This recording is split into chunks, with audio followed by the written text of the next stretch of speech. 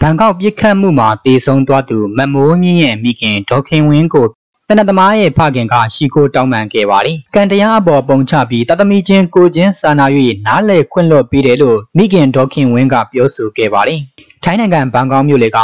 စီယန်ပါရာဂွန်ဈေးဝယ်စနာအတွင်တနက်ပြစ်ခတ်မှုမှာတေဆုံးသွားခဲ့ရသူမမိုးမြင့်ရဲ့မိခင်ဒေါခင်ဝင်းကိုပြစ်ခတ်သူဆယ်ကျော်သက်အရွယ်တနတ်သမားရဲ့မိဘတွေကထိုင်းမီဒီယာတွေရဲ့ရှေ့မှောက်မှာယမန်နေ့ကတောင်းပန်ခဲ့ပါတယ်။ ဆယ်ကျော်သက်တနက်သမားရဲ့ဖခင်ဖြစ်သူကတနက်ပြစ်ခတ်မှုကြောင့်တေဆုံးသွားသူမြန်မာလူမျိုးမန်မိုးမြင့်ရဲ့စာပနာအခမ်းအနားကျင်းပမဲ့ဘန်ကောက်နထွန်ဘူရီကဘုန်းကြီးကျောင်းမှာအခုလိုတောင်းပန်ခဲ့တာဖြစ်ပါတယ်။ကွယ်လွန်သူမန်မိုးမြင့်ရဲ့မိခင်ဒေါခင်ဝင်းကတာသမီချင်းကိုချင်းစာနားလေပြီးတနက်သမားသားအတွက်ပူဆွေးတော့ကရောက်နေမှာကိုသိရှိကြောင်းကံတရားကိုသာအပြစ်ပုံချပြီးနားလည်ခွင့်လွန်ကြောင်းတနက်သမားရဲ့ဖခင်ဖြစ်သူကိုပြောဆိုခဲ့ပါတယ်။ တနက်ပြက်ခတ်ခံခဲ့ရလို့တေဆုံးသွားသူမတ်မိုးမြင့်ရဲ့စာပနာအခမ်းအနားကို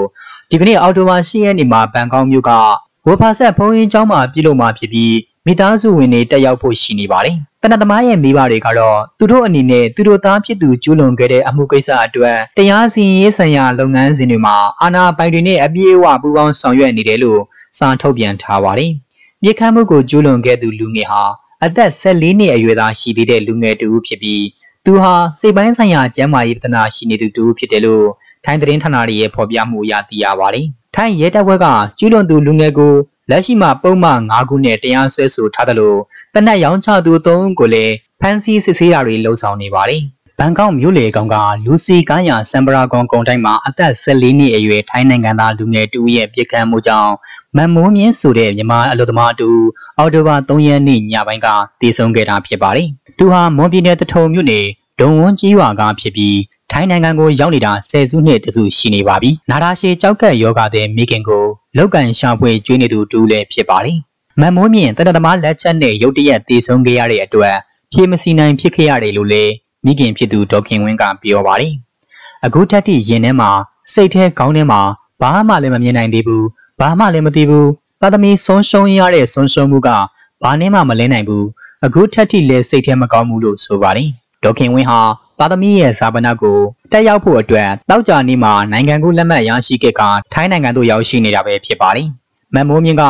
စင်ပရာဂွန်စင်တာရဲ့ဘေကျင်းကရက်က CN စင်တာတဲကအယုတ်ဆိုင်မှာအလုပ်လုပ်ကိုင်နေသူတူဖြစ်ပါတယ်။အဲဒီနေ့ကအလုပ်ရှင်ရဲ့ငွေတွေကိုပါရာဂွန်စင်တာတဲကဘဏ်မှာသွားထည့်ပြီးအပြန်တနက်သမားနဲ့တွေ့ပြီးပြစ်သက်ခံခဲ့ရတာပါ။သူဟာထိုင်းတရုတ်အင်္ဂလိပ်ဘာသာစကားကောင်းမွန်စွာပြောတတ်ပြီး အပြောအဆိုရည်မွန်သလိုလူတိုင်းကိုကူညီတတ်သူတူဖြစ်တယ်လို့လုပ်ဖော်ကိုင်ဘက်တွေကပြောပါတယ်။သူ့ရဲ့ထိုင်းအလုပ်ရှင်ကလည်းမန်မိုးမြင့်ဟာအလုပ်စူးစမ်းသူတူဖြစ်ပြီးမိခင်ကိုရှာဖွေကျွေးမွေးနေသူတူဖြစ်လို့သူတည်ဆုံးရတာဆုံးရှုံးမှုကြီးတစ်ခုဖြစ်တယ်လို့ထိုင်းသတင်းမီဒီယာတွေကိုပြောကြားထားပါတယ်။မန်မိုးမြင့်ဟာယောက်ျားလေးတစ်ယောက်လိုဝတ်စားဆင်ရင်သူဖြစ်ပြီးသူ့မိခင်ကိုထိုင်းဘတ်ငွေ1000ခန့်လစဉ်ပြန်လည်ထောက်ပံ့ပေးနေသူတူလည်းဖြစ်ပါတယ်။မန်မိုးမြင့်နဲ့အတူအလုပ်လုပ်တဲ့မန်နီကလည်းသူတို့အချင်းချင်းအပေါ် အမြဲကူညီတတ်တဲ့မန်မိုးမြင့်တည်ဆုံးသွားတဲ့အတွက်ဝမ်းနေကြေကွဲနေပါတယ်။သူကမိဘကိုလုံကျွေးနေတာစိတ်ကောင်းရှိတဲ့သူ